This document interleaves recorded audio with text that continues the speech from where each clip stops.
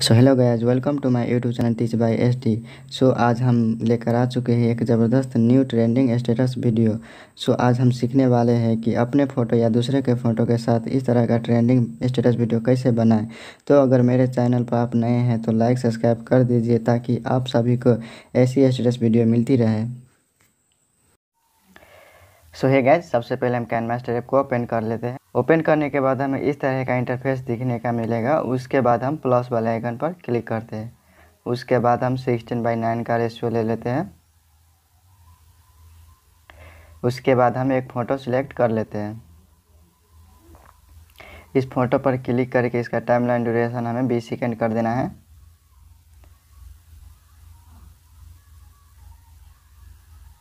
उसके बाद जूम वाले ऑप्शन पर क्लिक करके बराबर पर क्लिक करके इस फ़ोटो को इस तरीके से जूम कर लेना है।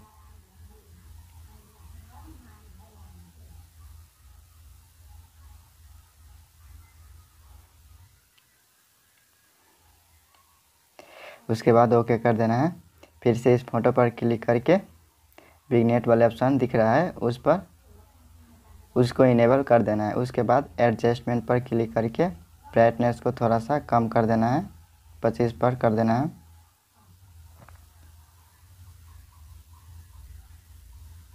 उसके बाद कंट्रास्ट को थोड़ा सा बढ़ा देना। है उसके बाद सेचुरेशन को कम कर देना है सही पर, मैंने सही पर। उसके बाद नीचे चले आना है और ह्यू को अठारह पर कर देना है। उसके बाद ओके कर देना है। उसके बाद लेयर पर क्लिक करके मीडिया पर क्लिक करके। उसके बाद हम लेयर पर चले जाएँगे और इफ़ेक्ट वाले ऑप्शन दिख रहा है, उस पर हम क्लिक कर देंगे। उसके बाद हम नीचे चले आएँगे और बेसिक इफ़ेक्ट पर क्लिक करके फ़र्स्ट वाले ऑप्शन को ले लेंगे। उसके बाद इसका टाइमलाइन ड्यूरेशन हम वीडियो के लास्ट तक कर देंगे। उसके बाद इसे हम फुल स्क्रीन पर इस तरीके से जूम करके लगा लेंगे। उसके बाद हम सेटिंग पर क्लिक करेंगे और स्ट्रेंथ को चार पर करके ओके कर देंगे।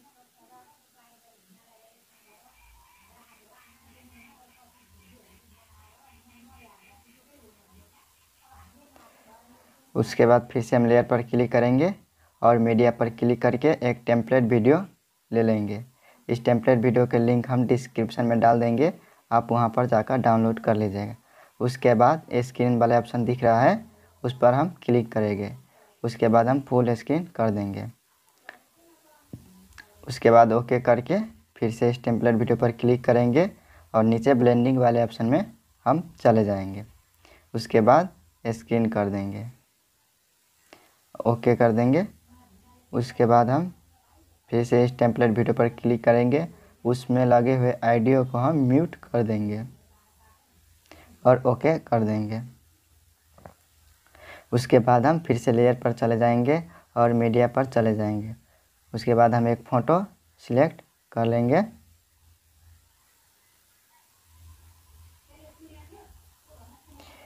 इस फ़ोटो को इस फ्रेम अनुसार हम कट कर लेंगे। तो चले, हम क्रॉपिंग में चलते हैं।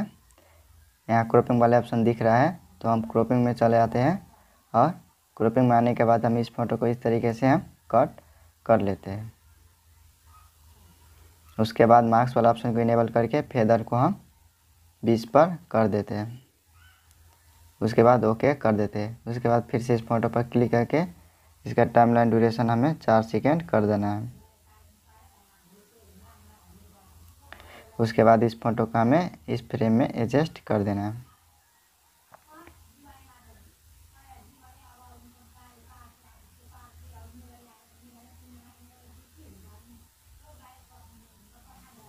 उसके बाद फ़ोटो को हम लास्ट में इतने पर रख लेना है। और फिर से लेयर पर क्लिक करके, मीडिया पर क्लिक करके एक फ़ोटो और सिलेक्ट कर लेना है।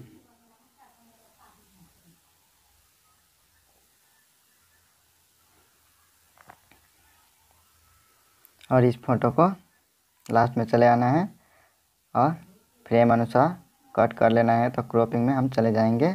क्रॉपिंग में आने के बाद हम इस फ़ोटो को इस तरीके से कट कर लेंगे। उसके बाद मार्क्स वाला ऑप्शन को इनेबल करके फेदर को हम बीस पर कर लेंगे। उसके बाद हम ओके कर देंगे। अब फिर से इस फ़ोटो पर क्लिक करके इस फ़ोटो को हम इस फ्रेम में एडजस्ट कर देंगे।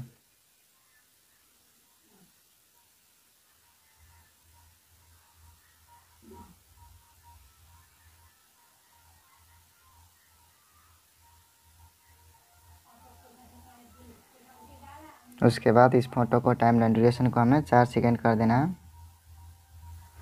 उसके बाद इस फ़ोटो को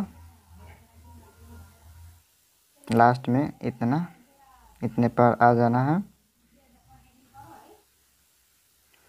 और फिर से लेयर पर क्लिक करके मीडिया पर क्लिक करके एक फ़ोटो और सिलेक्ट कर लेना है।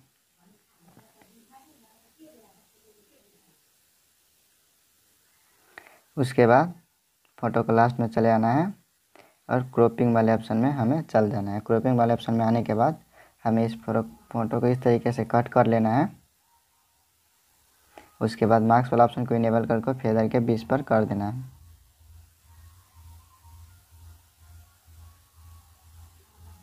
और ओके कर देना है। उसके बाद इस फ़ोटो को हमें इस फ्रेम में लगा लेना है।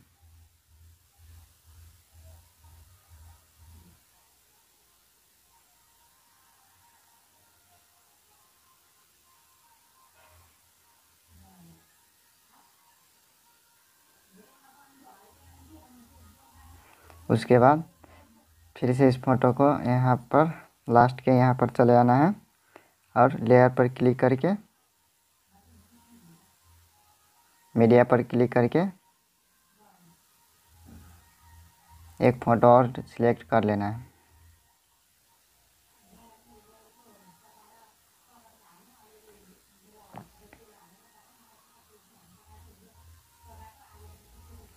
और इस फ़ोटो को भी हमें क्रॉपिंग वाले ऑप्शन में चले जाना है और कट कर लेना है।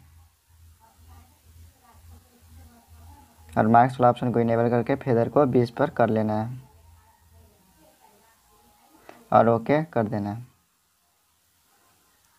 उसके बाद फिर से इस फ़ोटो को लास्ट में चले जाना है और इस फ़ोटो को हमें इस फ्रेम में एडजस्ट कर देना है।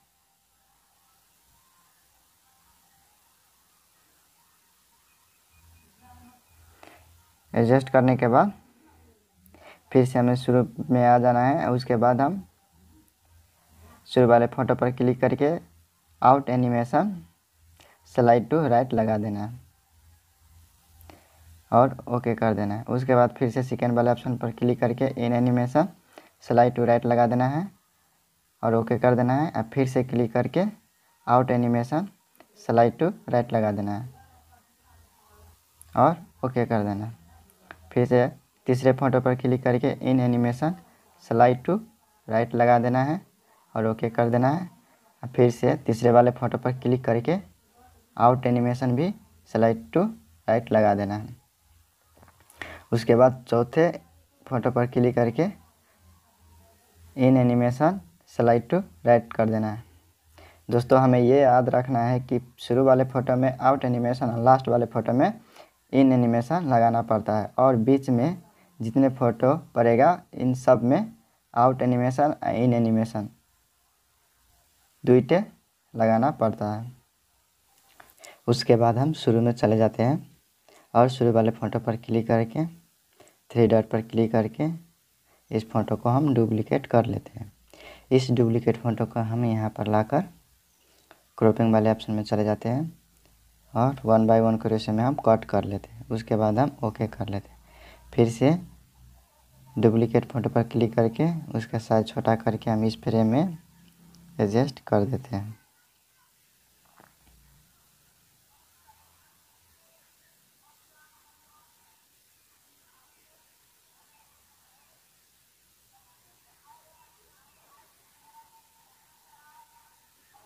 एडजस्ट करने के बाद और फिर से हम ये सेकेंड वाले फ़ोटो पर क्लिक करते हैं।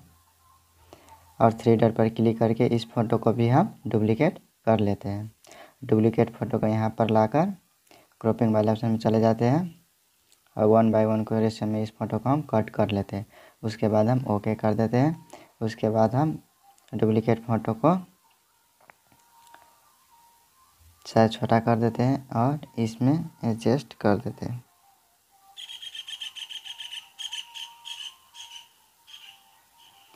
उसके बाद ओके कर देते हैं। उसके बाद फिर से हम तीसरे वाले फ़ोटो पर क्लिक करते हैं और थ्री डॉट पर क्लिक करके इस फ़ोटो को भी हम डुप्लिकेट कर लेते हैं।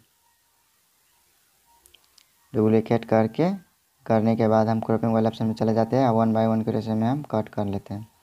और ओके करके फिर से हम डुप्लिकेट फ़ोटो पर क्लिक करके साइज़ छोटा करके इस फ्रेम में हम एडजस्ट कर देते हैं। उसके बाद ओके कर देते हैं।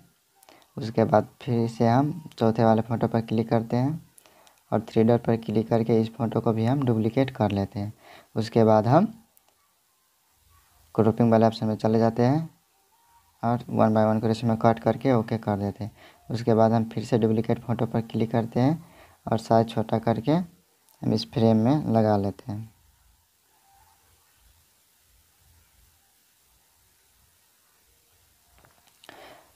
उसके बाद हम इस टेम्पलेट वीडियो पर क्लिक करते हैं और थ्री डॉट पर क्लिक करके बैरिंग टू फ्रंट कर देते हैं। उसके बाद हम ओके कर देते हैं। उसके बाद हम फिर से लेयर में चले जाते हैं और मीडिया में चले जाते हैं और बैकग्राउंड में जाकर एक वाइट कलर का बैकग्राउंड ले लेते हैं। इस वाइट कलर का बैकग्राउंड को टाइमलाइन ड्यूरेशन वीडियो को लास्ट तक कर देते हैं। इसे थोड़ा सा बड़ा करके क्रॉपिंग वाले ऑप्शन में चले जाते हैं। मार्क्स वाले ऑप्शन को इनेबल करके सेव वाले ऑप्शन पर क्लिक करते हैं। उसके बाद हम सर्कल में चले जाते हैं और बैक आ जाते हैं। उसके बाद हम फेदर को फोर्टी पर कर देते हैं और ओके कर देते हैं। उसके बाद हम वाइट कलर को बैकग्राउंड पर क्लिक करते हैं और इस तरह से हम रोटेट करके यहाँ पर जूम करके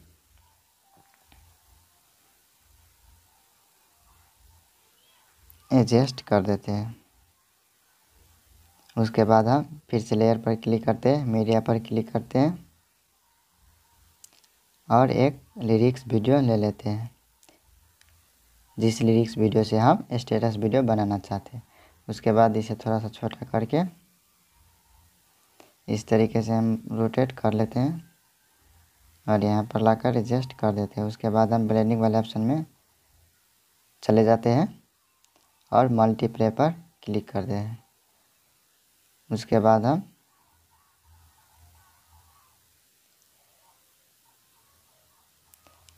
फिर से लिरिक्स वीडियो पर क्लिक करते हैं। इसका साइज़ छोटा कर देते हैं।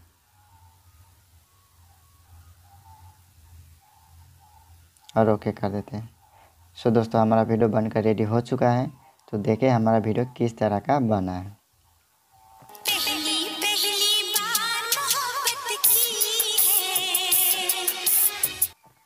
सो दोस्तों हमारा वीडियो बहुत कमाल का लग रहा है। सो so, उसके बाद हम शेयर वाले ऑप्शन पर क्लिक करेंगे और एक्सपोर्ट कर देंगे।